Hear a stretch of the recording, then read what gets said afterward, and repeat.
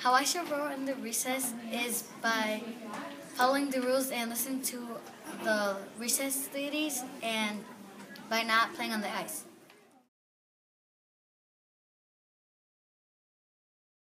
Here's what roar looks like and sounds like in the winter at recess.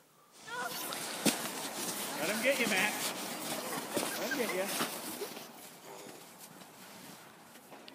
Making sure that you're following the rules on the playground. Um, number one, what makes me feel safe um, on the playground um, when people aren't like rough, roughhousing and um, and when they're following the rules.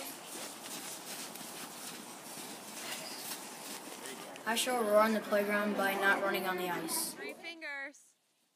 So I go on the swings and I play safely on the equipment and I play safely on other stuff was appropriate to go on. Here's what it might look like when students are not showing roar on the playground.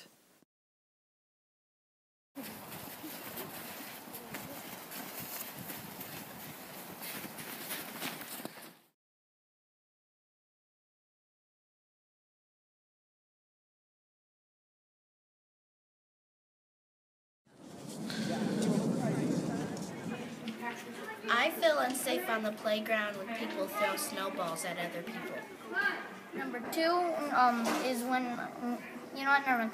When when I'm when I don't feel safe on the playground um, is um, when people are roughhousing and like jumping off of snow cliffs and and not playing politely. If somebody pushes a shove at me, it makes me feel angry. Very. What can you do at recess in the winter at Noble? You try to build, build stuff. Go out in the field and try to make a little um a little wall out of snow. Play in the snow with my friends.